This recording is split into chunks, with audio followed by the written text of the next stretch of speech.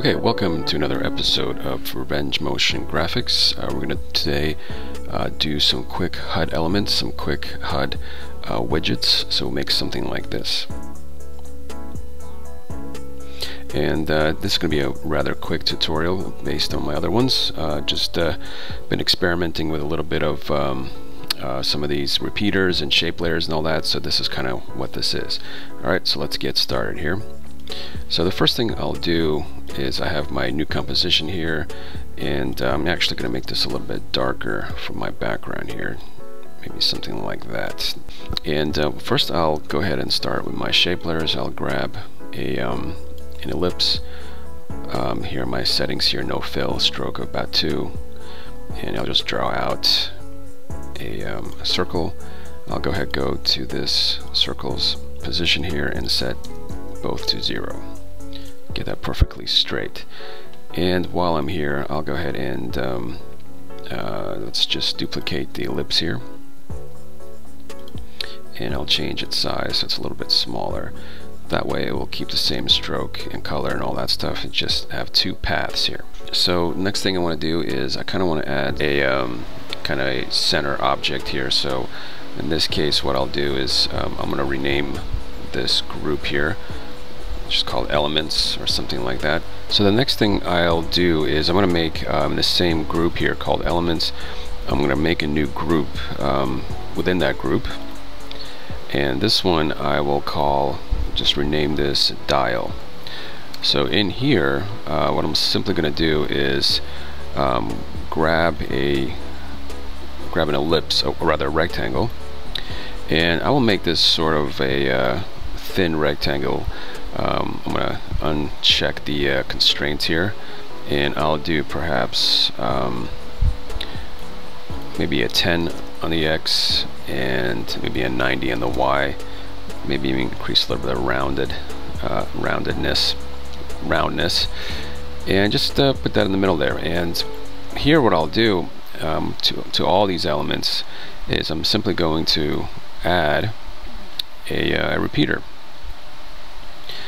go to transform the repeater and kind of spread them out a little bit. Then on top of, or at the bottom of this rather, I'm going to add a wiggle transform. Okay, so what this is going to do, make sure you put it after the repeater, is when I open this up, I can go into the rotation and maybe put in like a 270 or something like that. So when I play this back, I should see kind of various random dial movements, maybe a little bit too much. Let's try 180. And I can also change the uh, speed. Let's do 1 for the uh, wiggles per second. And now I have something that kind of looks like this. I'm going to temporarily set my um, resolution to half so it renders faster. So now we have um, the wiggle transform driving that randomness in the rotation. Okay, so one more element I'm going to add here and I'll do that uh, in a different shape layer. To make my life easier, I'm going to rename this as the, um, uh, let's just call this a dial it, itself. And I'll just uh, go ahead and duplicate this, Command D. I'll go ahead and rename that duplicate to, um, let's just do the uh, circle.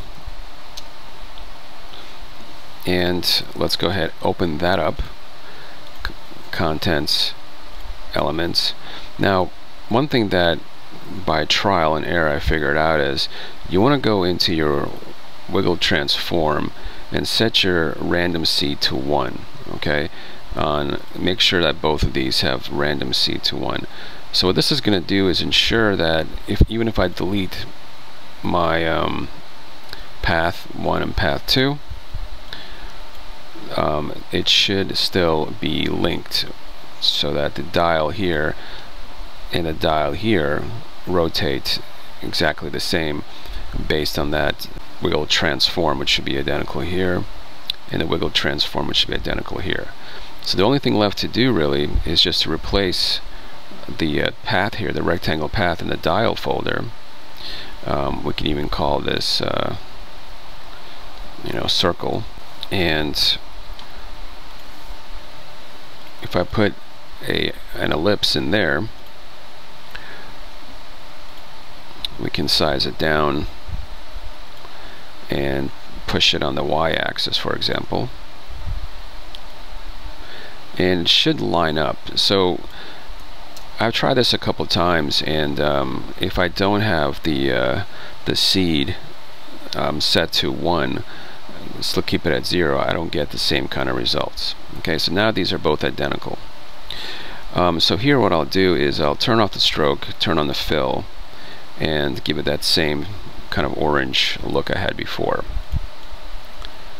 Kind of yellow orange perhaps.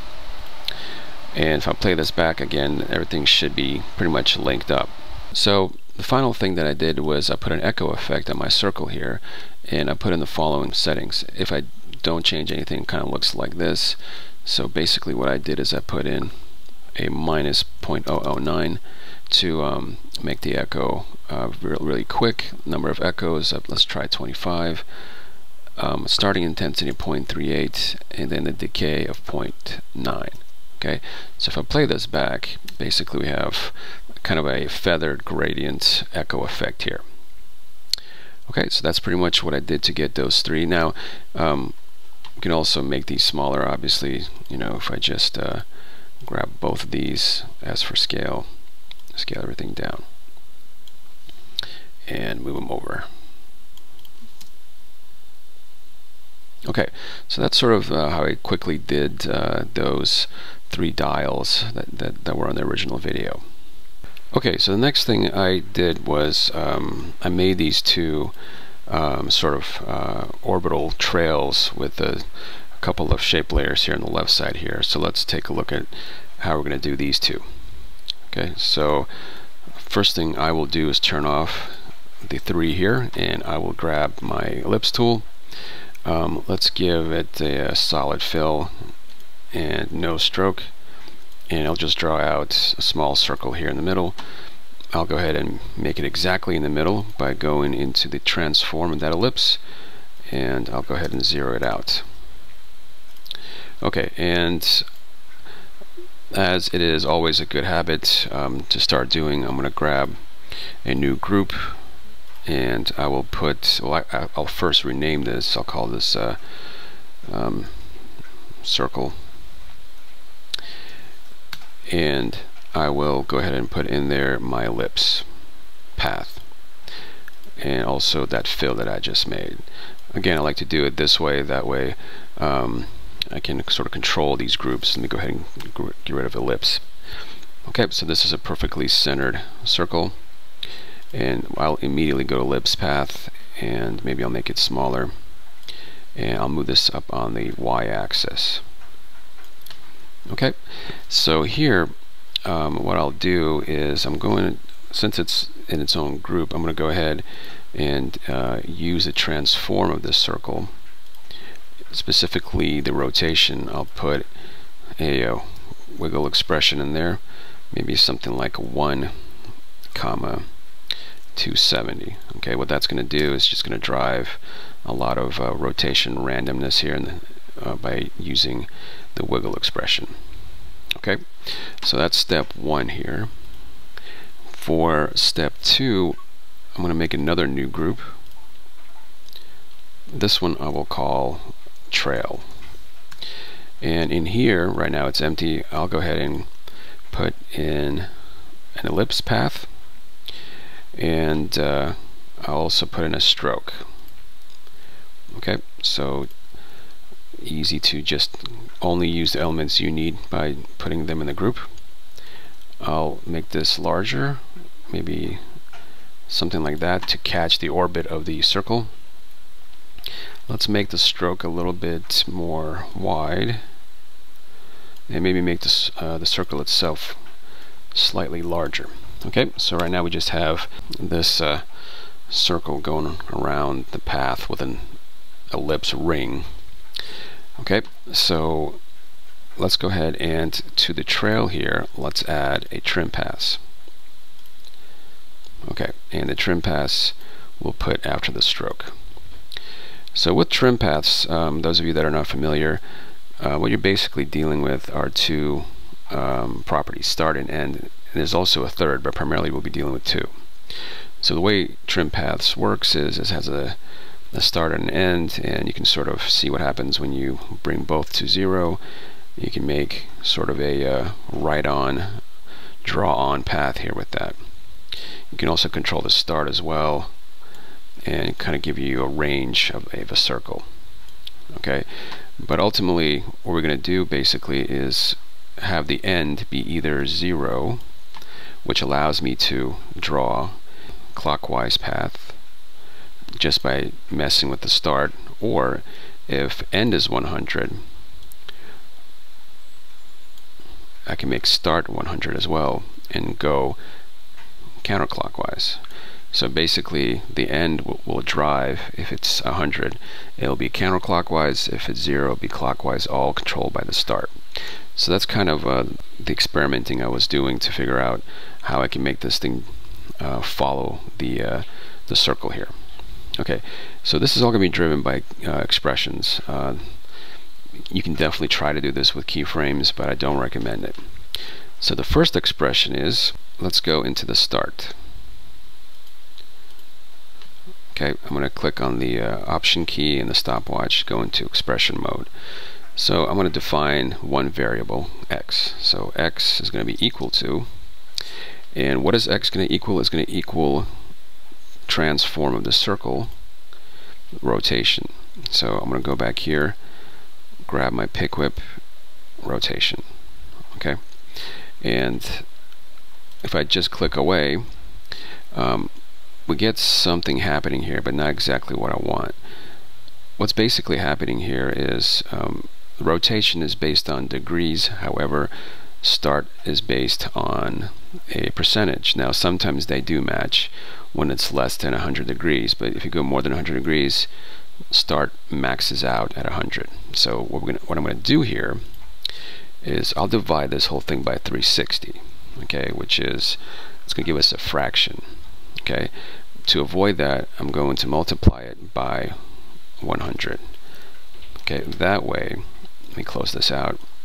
If, for example, I have 91.4 degrees in terms of a percentage of a, uh, of a circle, it's 25.4% or something like that. Okay, so the only problem here is if this goes this direction, negative values, this becomes zero and, and minimizes at zero. So we're going to fix that.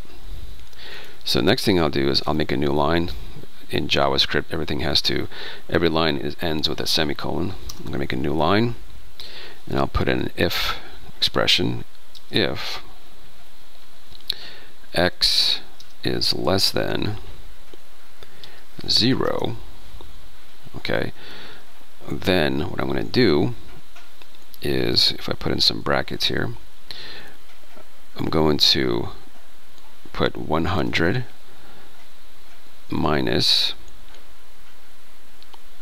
another parentheses x times minus 1.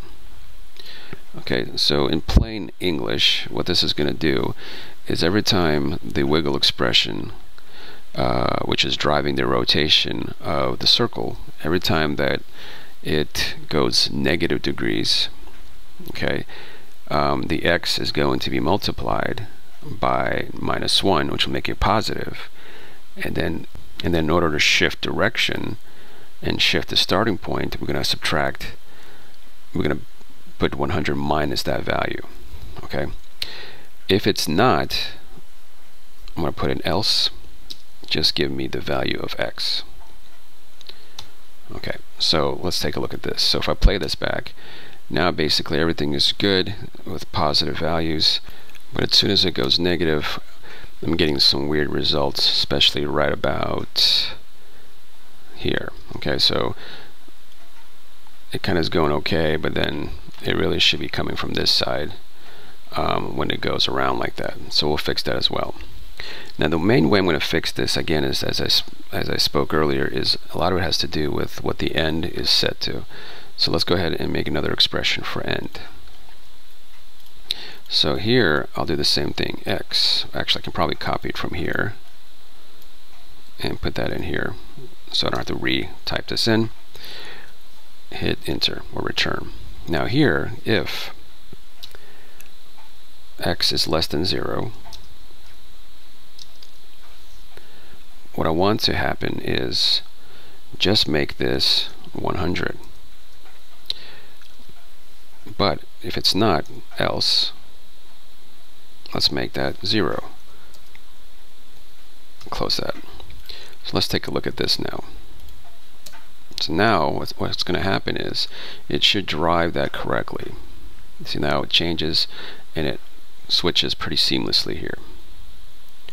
Okay, so every time basically x is a negative number, it changes to 100. But as soon as it's a positive number, the n becomes 0. And that's how this is being driven here. Okay, so the last thing is is uh, this orange uh, version of that same thing. Uh, and this one, just a simple fade. The uh, circle orbits around, uh, the more it goes away from the center, the darker the opacities of the orange. So that's going to be pretty simple to do. I'll just make a uh, duplicate of this one, Command D, and I'll go ahead and just move that one all the way to the right here. And here all I'm going to do is under the contents the trail let's change its color on the stroke to that orange that we saw. Okay and if I just leave it alone it'll just be an orange uh, version of this trail here. Let me make this a little bit more thick on the uh, stroke um, width here. So let's bring that up. So here I'll go ahead and um, in the opacity of this, I'll make an expression. Okay, so just like we did before, I'm gonna do an x equals, and I'll grab that uh, the transform of the circle here, of the rotation. So I'll do x equals the rotation, just like we did before. Again, I will, let me move this up so we can see it a little better. I will uh, divide by 360, multiply by 100 to get a percentage. Close that off. And basically the next line is going to be another simple uh, if uh, else statement here. So if x is less than 0, let's go ahead and multiply it x times minus 1 okay if it's uh, not so we'll do an else just x. Okay simple expression. Basically says if it's less than zero we'll make it positive and thereby we'll have a percentage that's positive. So if I play this back every time it goes further away from the center the line gets more opaque either way. Okay then just to bring everything into view here let's bring all these guys and we'll move these out of the way. Let's also make them smaller. Just a couple of FUI HUD widgets with expressions and shape layers. So thanks again for joining me for a quick tip version of a tutorial and we'll see you guys next time